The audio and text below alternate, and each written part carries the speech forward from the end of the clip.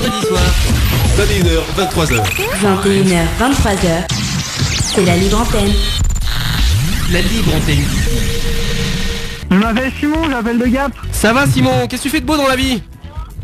Ça va D'accord Tu nous appelles Et comment vas-tu tu- tu nous, tu nous appelles, tu nous appelles comment euh, tu, nous appelles, tu nous appelles pourquoi Simon? Pour faire un petit coucou à Laura.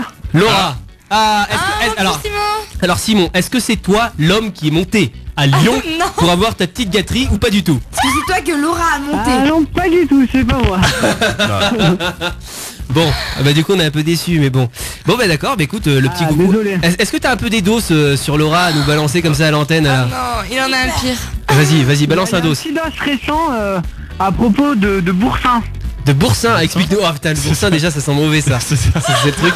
Euh, parce que Laura aime bien manger du boursin Ouais. et embrasser des mecs après. Ah ouais. Mais les mecs ils apprécient pas trop. Ah mais c'est énorme ce dos. Ah Simon tu nous as fait rêver là ce soir. Non, c'est mort, t'es pas gentil. Donc ça veut dire que si ce soir si à la libre antenne on veut emballer Laura, faut qu'on mange du boursin. On arrive, on lui souffle tout dans la gueule.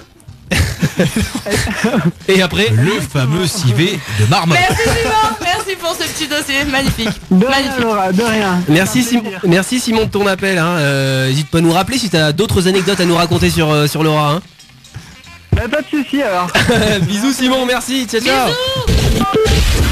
Mais ça, c'est bien la remarque Mathis, hein, comme la, fille- la femme qui va euh, s'occuper des gaz et préparer le gigot. Et alors, qu'est-ce que t'as contre ça? Une femme, c'est fait pour quoi? Tu sais que le cerveau d'une femme est divisé en quatre comme les quatre boutons Non mais de la, la de gazinière. suite, tu elle sais pour avoir des conseils la pauvre, pas pour se faire Bah, elle m'agresse, elle m'agresse, on est tombé sur la féministe de base. 21h, 23h, c'est la libre antenne.